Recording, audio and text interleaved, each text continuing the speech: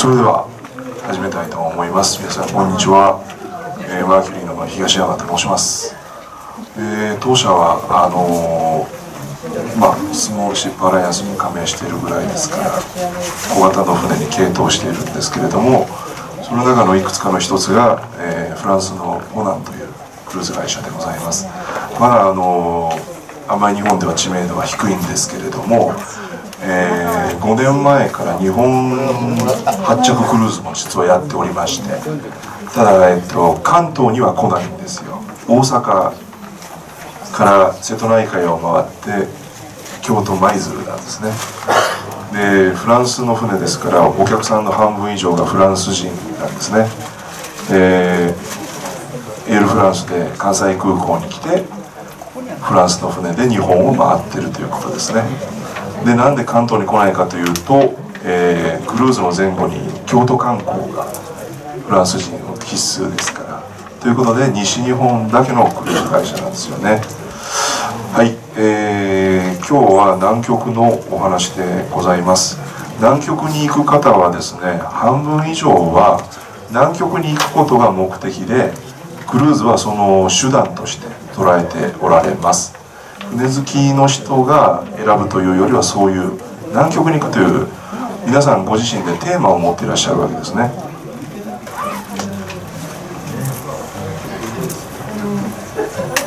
ちょっと短い映像でイメージをしてみてください。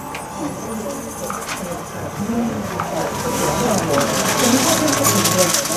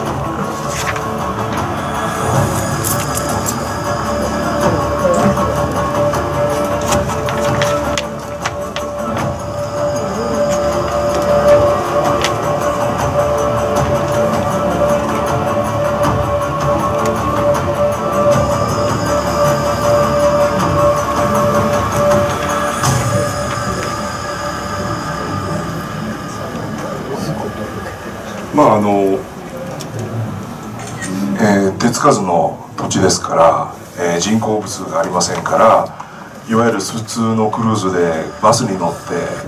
観光名所を見に行ったりとは何もない寄港地観光はないんですね。で、えー、南極をまあ私のようなそのクルーズが好きなものから見た時にですねなぜ行ってみようかと思ったのはですねまずはそのまあじゃあ普通のクルーズ例えば地中海とかアラスカとかですねありますよね。で多分こういうノーマルなクルーズに皆さんが期待されるのは美味しい食事とかエンターテインメントとかちょっと贅沢な時間じゃないかなと思うんですけれども、えー、南極はですねエクスペディションクルーズと探検船という意味ですね。探検船のクルーズと、えこれを行く方っていうのは志向性は全く違いましてまあさっきのような美味しい食事とかに興味がないってことではないんですけれども、えー、その手つかずな大地に生息する動物を見たりそれから大自然ですね、えー、例えばこのキンバリーっていうのはオーストラリアなんですけれども陸路からは非常に行きにくくてオーストラリアの人でも一度行ってみたいっていう今クルーズのエクスペディション船の気候あの場所として急上昇している人気の土地なんですね。ですからこういう、えー、ご自身でテーマを持っていくのがエクスペディションクルーズということですね。じゃあどうやって、えー、南極は行くのかっていうお話なんですけども、えー、昨年の2月にですね初めて私も知ってきました。いろんな生き方があるんですけど私はエミレーツを使いまして、えー、成田からドバイですね。それからブエノスアイレス。これが長いんですよね。19時間の中には実はリオデジャネイロで1回タッチして1時間ぐらい清掃があるんですね。でお客様はまあビジネスの人が多かったです。で私はエコノミーで行ってリオでドーって降りたんでびっちりだったんですよ。ああよかったと思ったらまたドーって乗ってきたんですよ。なんかねリオ・ブエノスっていうのもなんか現地で売ってるらしいんですよね航空券を。それでブエノスに着きましてもう夜の7時8時ですから1泊しまして。翌朝早朝ですねもう出発が7時ぐらいですから5時ぐらいには空港に行きまして、えー、ポナンのもう用意している飛行機乗ります。これは通常便だったり専用のチャーター飛行機だったりその時によるんですけれども。ですから皆さんはとにかく南極クルーズにポナンで行く場合はブエノスアイレスを目指していただければいいということなんですね。でここから3時間半で最南端南米最南端のウシュアイアっていうところに行っ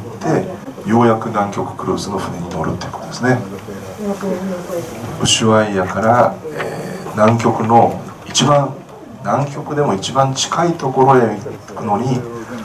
10泊のクルーズなわけですね、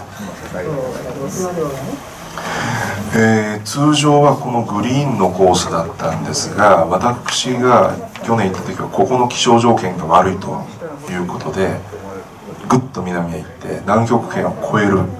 ちょっと特別なコースを行ってくれました。南極圏の定義はですね90度からこの、まあ、自転の角度がありますよね。それが夏白夜となる地域なんですよね。これを南極逆王北極圏と定義してます、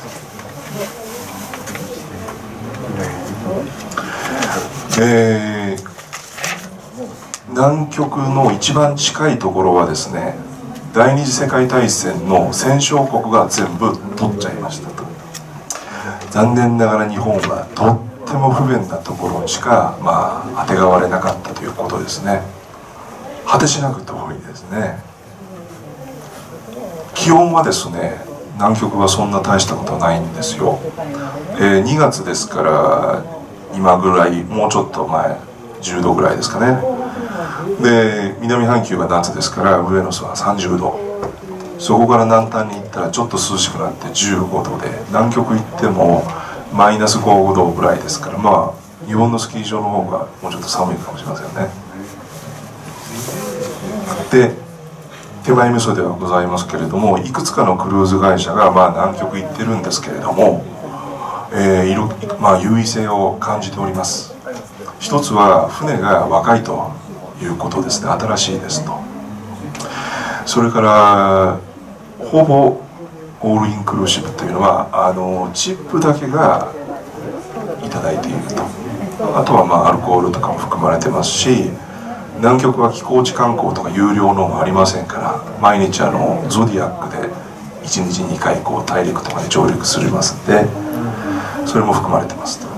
それから、えー、ブエノスアイレスからウシュアイアの往復の飛行機もクルーズ料金に含まれてます。シルバーシーというですね最高級のラグジュアリー船の会社エクスプローラーという船が就航してます。89年なんですね。これはですね中古船を買ってきて改装してエクスペディション船にしているわけですね。オールインクルーシブです。もちろんチップもアルコールも含まれてます。まあ水準がラグジュアリークラスですからそれなりの料金ですけれども、えー、そのブエノスからの飛行機は別料金なんですね。それからこれなんかはまああのいわゆる南極船としては代表的な船の一つなんですねロシアの船で。ですからこういうベッドとの設備だったりとか共用トイレだったりとかもまあ当たり前の世界だったんですよね。この船も南極に行く船としては有名な船ですね。もう、えー、洗礼は結構経ちますよね。ですからポナンのまあ船っていうのはもう普通の地中海とか行くような快適さで南極にも行けるようになりましたよということなんですね。えー昨年の2月23日のクルーズに来まして、えー、船はルー・ボレアルという名前の1万トンの船ですね。定員は、えー、264名なんですけれども南極に行く時は200人に定員を落とします。それは南極大陸に降りれるのが1回に100人までって決めてるんですね。だから200人だと1回の交代で全員が降りれますからそういう意味もありまして200人に定員を落としています。ちょっと南極のボレアルの映像をご覧ください。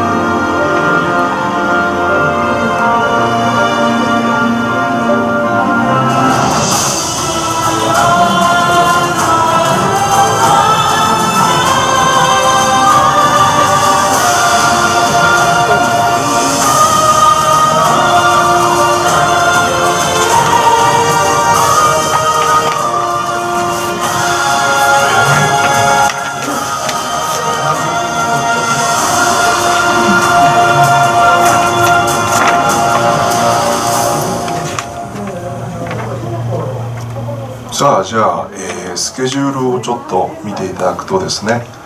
えー、ブエノスアイレスに初日、あのー、空路移動でウシュアイアに来まして乗ってドレーク海峡悪名高いドレーク海峡ですよね。9メートルの波中2日で。で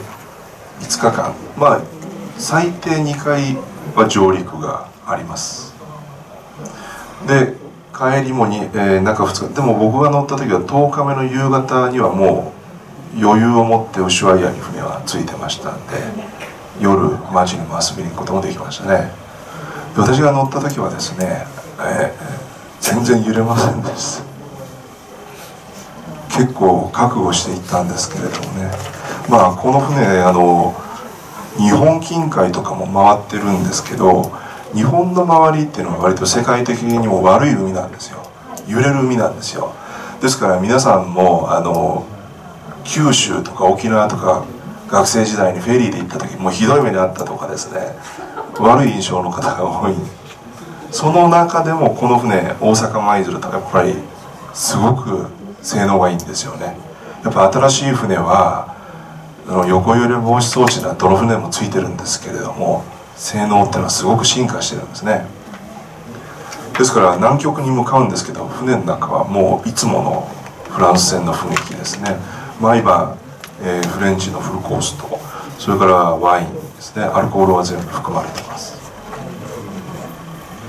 で南極圏を越えてあのその手つかずの地球っていうのがですねこんなにも美しいのかと光も透き通ってんのかっていう想像をはるかに超えてました。行ってよかったです。で、えー、1月ぐらいにペンギンの子供が生まれてちょっとこう大きくなってるんですよね。で来年まあお客様とご一緒するコースを1月に設定したのはまだもうちょっとペンギンの赤ちゃん小さいあの写真集で見てすごい可愛かったんですよそれで1月にしてみようと思いました。でゾディアックというもので毎回上陸します。港なんてありません。人工物はありませんから。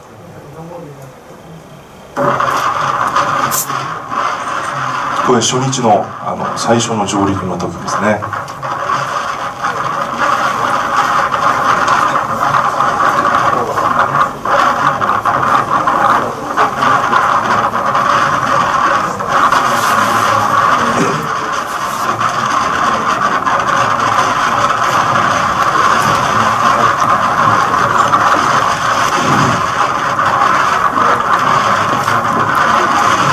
皆さん不安になってます。もう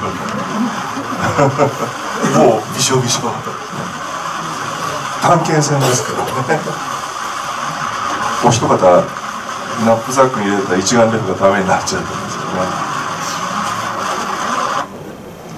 これ最初の上陸だったんでうわ毎回これ思いやられるなと思ったんですけどあれが一番ひどかった日ですね。で南極圏を越えるとですねあの氷がどんどんどんどんもう散らばってるところがだんだん大きくなるわけですね。でだんだん囲まれていくわけです。これも海氷ですね。どんどん行きます。もうキャプテンが結構果敢な人だったもんですからね。でついにはもう覆われてしまってこれ以上は行きませんと。でゾディアックで降りたら我が船がまあ氷に突き刺さって止まってるわけですよね。なんという光景かなって思いましたよね。でみんなで記念撮影しましてね。この防寒具は皆さんにあの船会社からプレゼントされます。それからこのレンタル長靴は無料で船で用意してます。だからそんなに特別な装備はいらないんですねまあフランス戦ですからね南極でシャンペンもいただいてみんな談笑してるんですけどもね。ところがですねあのさらに後ろからもこう海氷がどんどんどんどん押し寄せてですねゾディアックで途中のお客さんから帰れなくなったんですよね。で僕は帰れないからここから写真を撮っててですね、えー、キャプテンも慌てて戻りましてですね。で船を最初へさきがぶつかってたのを回してスラスターという横向きのエンジンで氷をもう必死で蹴散らしてそれでも道が開かないので 後ろからぶつけて歩いて乗り込むと。ま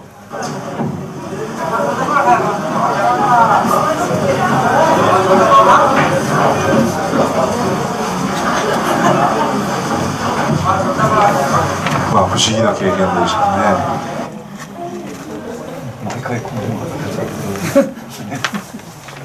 結構あの危機的な状況だったんじゃないかなと思うんですけどフランスのお客さんは悲壮感がないですねでその後、えー、やや戻る形でサウスシェトランド諸島というところに来ますいろんな景色がありまして、えー、このゾディアックってまあ1台で10人から12人ぐらいなんですけれどもこのガイドが。とその時はたまたま日本人が乗ってたんで日本語で案内してくれたんですけどもね。この氷はですねこう縦に筋がついてますよね。これは、えー、もともとはこうなってたのが侵食されてこうボッボッとなっちゃったんですよね。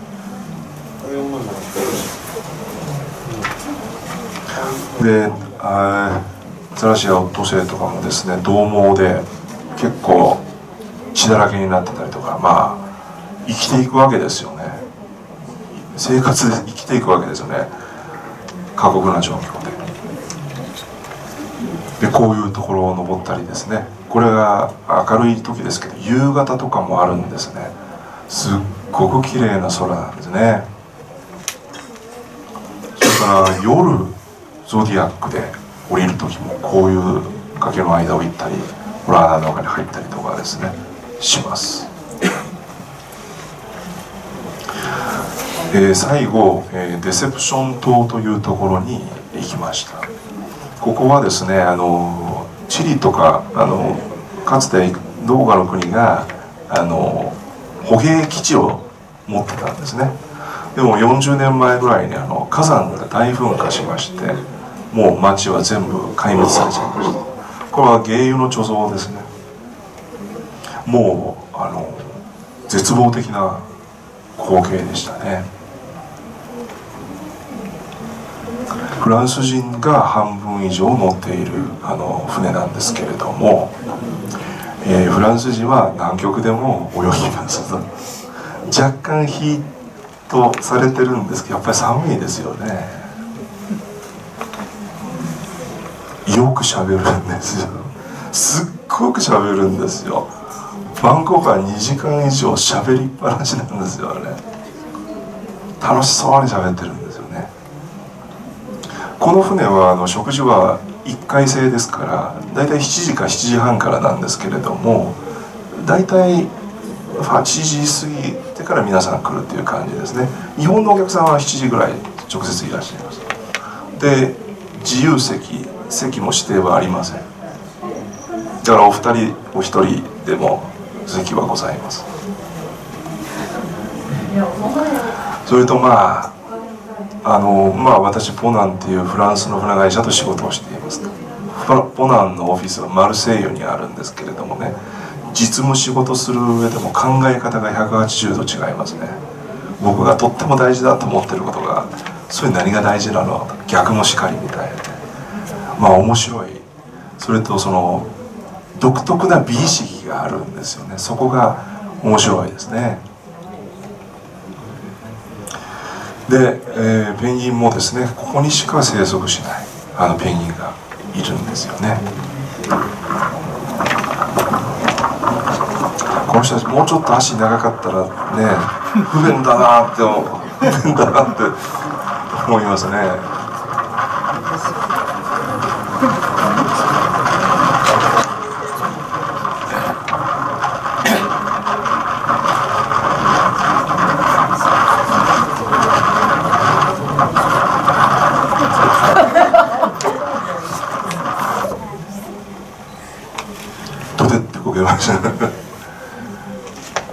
で子供はもうお母さんの口の中までねお腹空いてるわけですよね。もっとくれよって感じで。可愛い方ですねすごく。でその海に飛び込んでオキアミをお腹いっぱいに食べて我が子供に果てしなくこうここであのまあ分かるわけですよね親子ですからね。でもまあ世界で多分一番過酷なねこう子育てと言いましょうか。それもちょっと感動しましたですね。さあ、えー、ちょっとリアルな話で南極クルーズはいくらするんですかっていうことなんですけれども普通の地中海クルーズとかよりはいろんなコストもかかりますからやっぱり高いですね。であのお手元に渡ってるか分かりませんけど実は、えー、今週再来年のシーズンのが発表になって来週の金曜日から発売開始なんですね。でポナーのリピーターの方は1週間前の今日からなんですけれども、えー、私もこれすぐに予約したんで30%オフぐらいで予約してこれぐらいの料金でした。で日本は北半球だから飛行機は割と安いんですよね。でブエノスアイレスで1泊まあしたぐらいですからこれぐらいで行きました。ちなみに添乗員がつく南極クルーズのツアーの平均はだいたい170万ぐらいですね。からですね。ですから、えー、まあ来年あの私が1月に行くコースはもう、えー、1万ユーロとかクルーズ船ももう行ってるもんですから船だけでも140万くらいちゃうんですね。だからこの30%オフっていうのは元値が高いのでとっても意味が大きいんですね。ですから1年先に。だから来年私と一緒に行く方はちょうど去年の今ぐらいに皆さんご予約されてるんですよね。だから1年伸ばして19から20年のシーズンをパッと入れていただくとだいぶリーズナブルですね。それがこのチラシの内容でございます。ということでですねどうでしょうか？今まで地中海とかアラスカとかいらっしゃったあの皆さんにとって、え、もう好きか嫌いか行きたいか興味ないかバシッて分かれるのがエクスペディションクルーズなのかなと思います。まあ私もあの仕事柄地中海とか例えば上下線香のローマとかはやっぱり何回も行くわけなんですよね。でちょっと感動が何回も行くと薄れますよね。ででもやっぱり観光名所とか、まあ、お土産物屋さんとかねお客さんをお連れしたりとかする中で観光名所お土産物もなかったんですけれどもはるかにそれを超える感動でですねあのまた行ってみたいなって一回行けばいいと思ったけどまた行ってみたいなってちょっとこうハマりそうな感じなんですよね。ですから皆さんもノーマルなクルーズで行き尽くしたかなと思ってもエクスペディション船クルーズっていうのがあるんだなっていうのをですね新境地を開いていただければなというふうに思います、えー、私からのプレゼンテーションは以上でございます。どうもありがとうございました。